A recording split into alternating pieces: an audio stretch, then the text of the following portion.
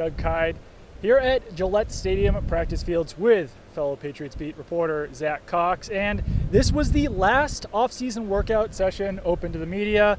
So we're going to talk about some uh, breakouts and some standouts and all that good stuff. Zack, offensive side of the ball, who really stood out to you the most over this last you know month uh, that we got to see these practices? I'd have to say it's the guy that everybody's really going to have their eye on the most this offseason, and that's Jimmy Garoppolo. He, right now, as every Patriots fan knows, he is the kind of presumptive starter in Week One, unless uh, Tom Brady gets a gets a overturning of his four-game suspension. And I mean, it's obviously hard to tell what uh, what a guy can really do when guys are running around in shorts and uh, shorts and t-shirts out here. But Jimmy looked great. I mean, I thought he he was especially strong at the beginning of camp. He kind of went downhill a little bit near the end, but they also the uh, the, the competitiveness kind of kind of went downhill, especially yep. on this last day. They oh, really basically had maybe an hour of like really hard work, and then they're kind of a lot of walkthroughs, a lot of that kind of stuff. Yep. Yeah, I'd say on the offensive side of the ball, Chris Hogan was probably my number one standout, just because he's a guy coming into the system new. A lot of these guys struggle to pick up the system right away. Chris Hogan didn't have Julian Edelman and Danny Amendola out there to kind of assist him or help him, but he looked like he'd been in the system for four or five years already.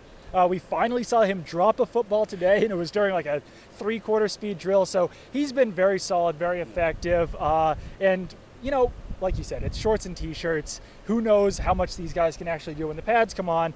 But the fact that Chris Hogan did look so comfortable in shorts and t-shirts definitely a good sign. I uh, thought he really benefited from the fact that neither Amendola yeah. nor Edelman were out here. So he really he got a ton of reps. He was really in there. I feel like he, him, and both Brady and Garoppolo were kind of jiving pretty well. Yep. And yeah, he's another guy you have to like what you've seen so far. Absolutely, yeah. Other receivers, Keshawn Martin, Nate Washington, those guys st- stood out as well. Uh, defensive side of the ball, any standouts in particular? I feel like with these kind of unpadded practices, it's harder for defensive players to stand mm-hmm. out than it is for offensive players. Absolutely. But just judge about this last day alone, I liked what I saw from Jonathan Jones. Yep. He's the uh, the undrafted rookie out of um, out of Auburn. He had four pass deflections today, including one a breakup of a Tom Brady pass, which yep. was the only incompletion Brady had all day.